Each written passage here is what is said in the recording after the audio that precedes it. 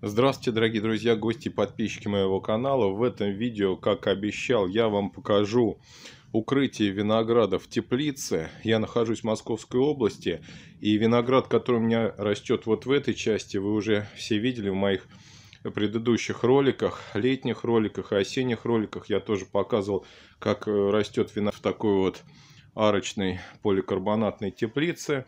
И сейчас у меня виноград уже укрыт, а сейчас э, конец ноября, начало декабря. В общем-то, в теплице я его укрываю, конечно, попозже, так, так как здесь условия потеплее, чем на улице. И, в общем-то, здесь другой микроклимат, в отличие от а, выращивания винограда на улице в моих условиях. Ну вот сейчас я вам показываю, как у меня укрыт виноград. Виноград обрезан. Обрезан он точно так же, как я и обрезаю его на улице. Если вы не знаете, как обрезать виноград, вы можете посмотреть. У меня на канале есть видео о простой обрезке, в общем-то, без особых премудростей. Ну и, в общем, виноград у меня здесь также обрезан, как на улице. И также он прижат к земле. И сейчас я вам показываю свое укрытие. Вот здесь у меня в этом ряду однолетние, э, точнее двухлетние кустики винограда. Вот они укрыты обычным укрывным материалом 60 э, плотности. И вот посмотрите, вот так вот лежат лозы, прижатые к земле. Прижимал я их с помощью вот таких вот крючочков, о которых я вам уже неоднократно рассказывал и показывал в своем видео. Э, укрыто в несколько слоев. Обратите внимание, вот такой вот он, как бы, тут, наверное, даже в три слоя. То есть, вот э, сложен вот этот укрывной материал, ну, наверное, даже в три слоя получается. И вот так вот он укрыт. Сильно я его так не прижимаю к земле. Укрыт он вот как бы такой вот с воздушной хорошей прослойкой между землей и самим укрывным материалом. То же самое и в этой части сейчас я вам покажу. Вот, посмотрите, лозы. Здесь уже виноград постарше, трехлетний. Здесь лозы уже потолще. И вот то же самое под вот таким вот укрытием несколько из укрывного материала. Укрывной материал, как вы видите, белый. Если нет возможности купить белого, можно использовать, кстати, черный. Вот у меня такой здесь пакетик с черным укрывным материалом. В крайнем случае можно использовать и черный, но лучше, конечно, белый. Итак, вот с помощью такого укрытия виноград у меня будет зимовать. Но, вот видите, у меня здесь лежат неспроста куски вот такого поликарбоната обрезанные. Если мороз будет опускаться ниже 20 градусов, в ночные часы, а такое у нас довольно-таки часто бывает, обязательно э, в Московской области каждый год Э, мороз бывает опускается ниже 20.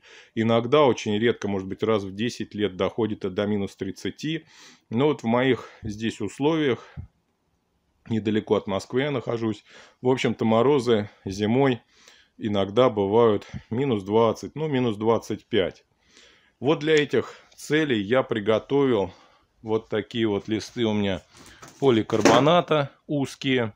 И я вот этим листом Э, буду просто-напросто накрывать вот этот вот желоб, где у меня растет виноград.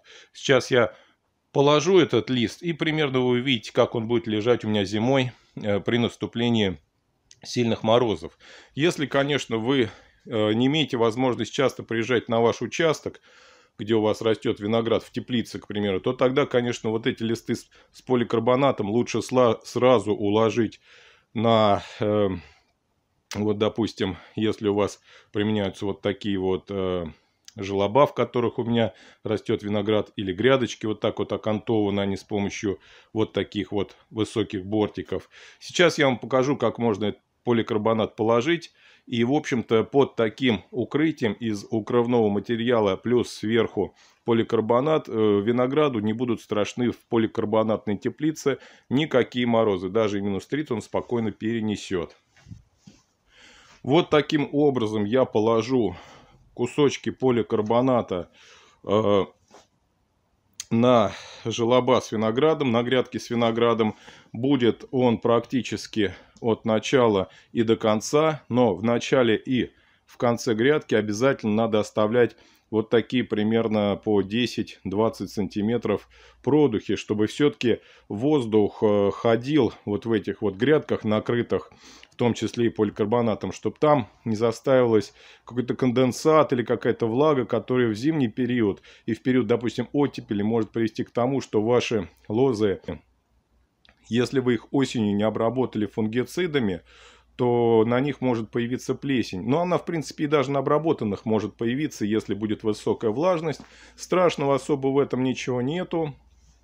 Вот. Но лучше, конечно, явлений вот этих избежать при помощи э, такой вот как бы э, вентиляции должна обязательно оставаться. То есть воздух должен свободно проходить. Нельзя наглухо укрыть вот так вот поликарбонатом, не оставляя никаких щелей. Тогда вот э, будет не очень хорошо с точки зрения проветривания ваших лоз в зимний период. Потому что не всегда же будут морозы. В какой-то день может быть и зимой и оттепель, и солнышко припечет, и в теплице будет плюсовая температура. Поэтому если вас на дачном участке подолгу не бывает, то при укрытии вот таким способом обязательно оставляйте продухи, то есть отверстие для того, чтобы проходил воздух вот в эти вот грядочки.